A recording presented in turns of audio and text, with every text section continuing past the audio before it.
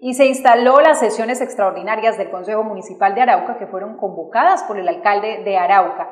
La mesa directiva de inmediato le asignó ponentes a los cuatro proyectos presentados.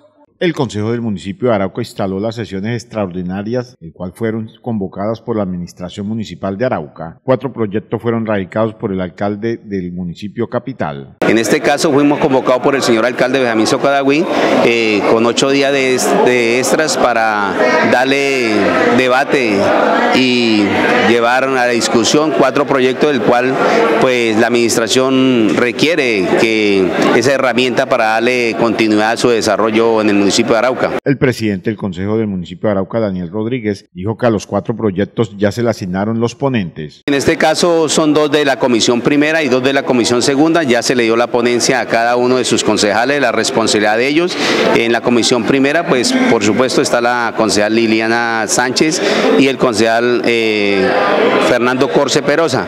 Igualmente en la comisión segunda está el concejal Oscar Franco y la concejal Lina María Garrido. Entre los cuatro proyectos se encuentra uno para la creación de un fondo para el municipio capital. La administración está pidiendo la autorización de la creación de un fondo en el cual pues eh, es de, necesidad también para todas las demandas que tiene el municipio y que así se, se vaya llevando a cabo en este fondo algunos recursos y se puedan eh, tener para las demandas de, que le colocan al municipio.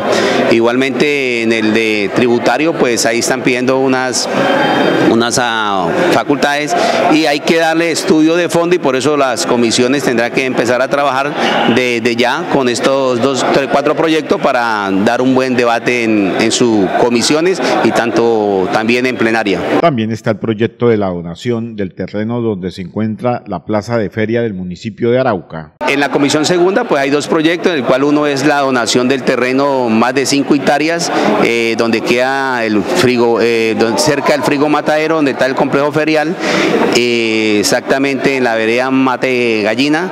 Igualmente pues el otro proyecto ya es políticas públicas de cultos, libertad de cultos. Aproximadamente sesionarán durante ocho días los concejales para la aprobación de estos cuatro proyectos.